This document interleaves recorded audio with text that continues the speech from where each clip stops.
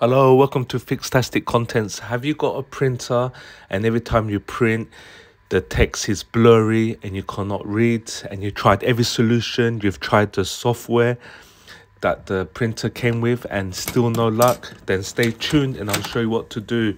First and foremost, you need to open up your printer. As you can see with that arrow, there's a metal line there you will need to clean this area with a paper towel. So where this arrow is pointing, that line, that metal line. This is before I clean that area. As you can see, the printing text is blurry. Now, what I'm gonna do, I'm gonna show you what needs to be cleaned again, where my finger is pointing. So that area, guys, open up your printer where your ink cartridge goes and clean that area. So this is after I cleaned the printer alignment area. As you can see, it's clear text. This is what I used.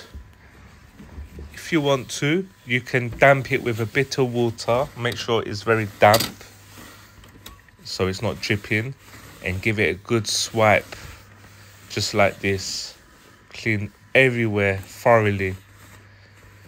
Your ink cartridges will be blocking the other side so you need to move it across so you can reach that area to clean. That's what I did. Just take your time clean this area thoroughly. Use multiple paper towel tissue whatever to clean it. So throw the old one away where there's ink on the tissue.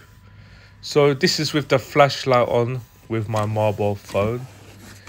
You've got a more clearer view of everything. So where the paper towel is, that needs to be all cleaned as mentioned. Make sure it's shiny. I've moved the ink cartridges so they're on the other side so I can get to here. Give it a good deep clean take your time because obviously when you're printing it's very important. This method is a good solution to your printing problem because not always software works because the software it comes with is not always reliable. Try this and leave a comment and tell me how you get on. Please like and subscribe